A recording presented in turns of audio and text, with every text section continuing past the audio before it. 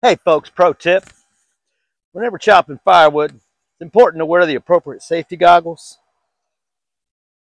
Have the object you're chopping at a good height. And fuck Bud Light.